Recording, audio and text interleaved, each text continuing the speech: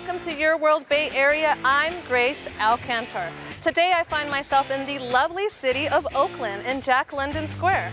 But before we take a look at this amazing city, let's take a look at an organization that is enriching our heritage. Not far from Monterey, California, known for its oceanic wonders, lies a place that is enriching our heritage. Compare the weight of these. And it's in Moss Landing, California. Hi, have you been here before? Did you see the word Shakespeare outside? This place is the Shakespeare Society of America. My name is Terry Taylor. I'm the president of the Shakespeare Society of America. We're a 45-year federal nonprofit corporation that started in West Los Angeles in the 1960s. And the society, the mission and purpose of the society is to inspire education and personal development through the works of William Shakespeare since virtually 1607. That's right. The Shakespeare Society has lots to offer, beginning with its collection of Shakespearean artifacts.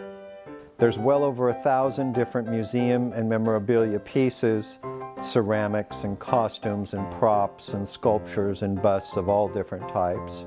All of these flowers. You also never know who will visit the Shakespeare Society. We've had over 10,000 visitors from 98 different countries, around 30% educators, maybe 10% social workers. We had the Princess of Belgium come in. Her brother was the sitting king that day. Now it's her nephew. Pretty interesting, huh? In fact, this organization has a long history of promoting Shakespeare scholastics.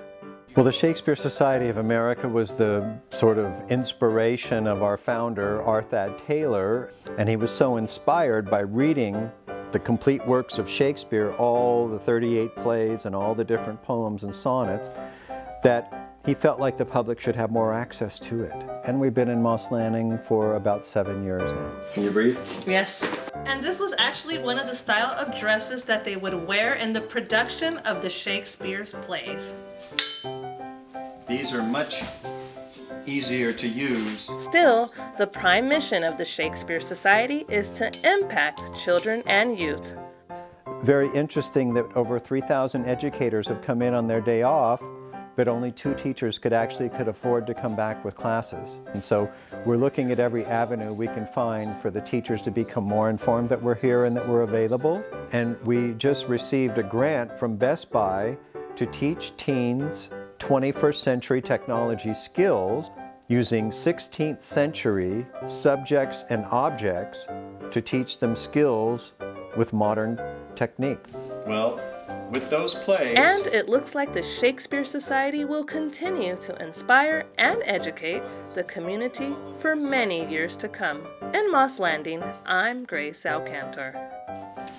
These are the list of all those stories of the plays that Shakespeare wrote.